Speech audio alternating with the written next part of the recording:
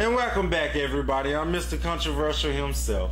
And I want to thank you for tuning in, and uh, I hope you appreciate uh, what that is and what that ain't. My outlook on uh, the parenting situation that's going on in young black uh, American families nowadays. So, uh, if you like what I said, or if you agree or disagree, hit me up with a comment at Douglas217ca at AOL.com. That's Douglas217ca at AOL.com.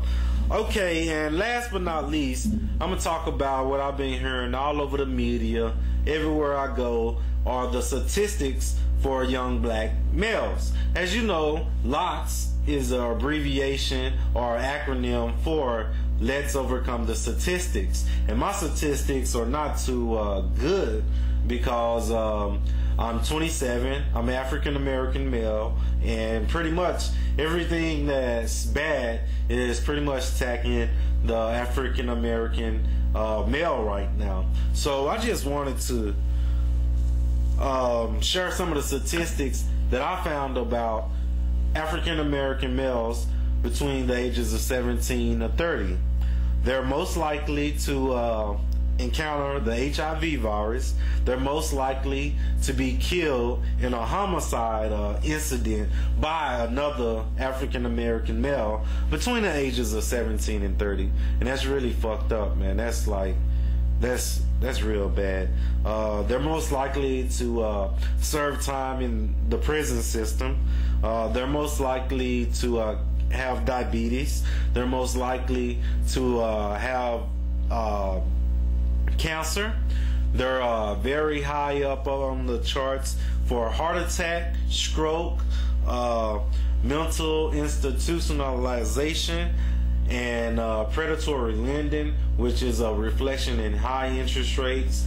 High interest rates are killing the African American community like a motherfucker. I don't know if y'all know. It's all about your interest rate.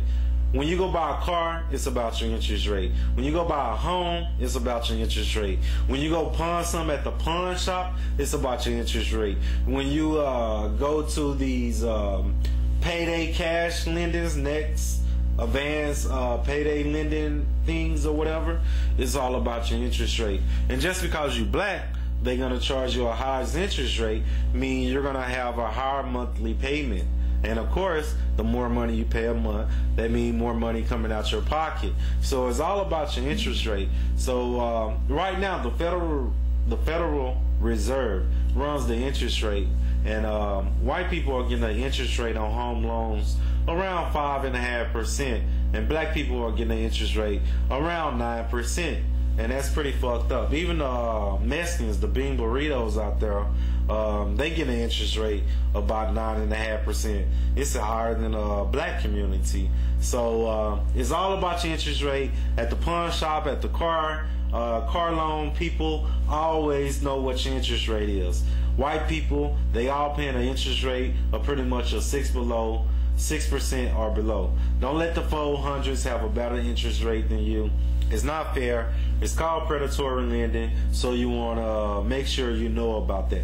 I'm telling you about it. If you want to go buy a car tomorrow and they say, oh man, we can get you in this car for $250 a month, ask them what's your interest rate. And they gonna say, well, it doesn't matter, it's $250 a month. Say, fuck you. What is my interest rate? If they tell you that your interest rate is 8%, say white people get an interest rate of 6%. An interest rate of 8% is going to make your car note be $250 a month. An interest rate of 6%, your car note will be more like 275. You saving $25 a month that you can spend on whatever you want to do. Go get your hair done, your nails done, smoke a little weed, buy you something to drink. It's all about your interest rate. They say, oh, we got this cash advance until your next payday. Fuck you. What's my interest rate? Oh, well, you can move into this house the next day with no money down. I don't care. What's my interest rate? It's all about your interest rate. So, black America, open your eyes, make sure the first question you ask when you finna borrow some money, when you finna get a loan, what's my interest rate? That's the most important thing. I'm telling you because I love you and the 400s are getting a better deal than you and they just fucking uh, the niggas and the Mexicans and the big face 50s on interest rate. So make sure you know about your interest rate. Okay, back to the statistics. Predatory lending, I, I just, it's, it's, a big thing. I want y'all to know. Even at the pawn shop, if you're a nigga when you go to the pawn shop, when you try to go get your shit back, they charging you a higher interest rate than they charging the 400s. So all them motherfuckers out there that go to the pawn shop, when you go to the pawn shop, ask them what's gonna be my interest rate to get this back. 400s, they getting charged about 5% right now. So make sure your interest rate is under 5%. Okay, also the statistics. Um, child support.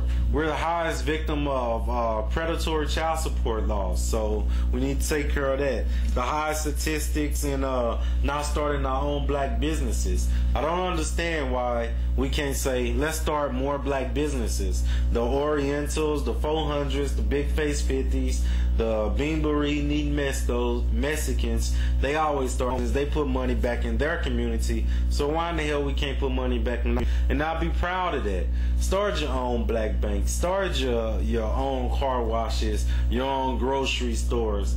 Well, I take that back. Grocery stores is pretty hard. Walmart owns all pretty much all the grocery stores. So, but anyway, um, money back into the black community, your community, where you live at, and there's nothing wrong with it. If someone say there's something wrong with it, tell them, uh, okay, the Asians do it. You know, the big face 50s, the white people do it, the 400s, the Mexicans, uh, bean burrito eating people do it. Um, you know, why we can't do it and be proud of it. Invest in the black community. Hey, I'm Mr. Controversial himself, Carlos Douglas, coming to you live from Dallas, Texas, and I'll see you when you get back. Thanks a lot.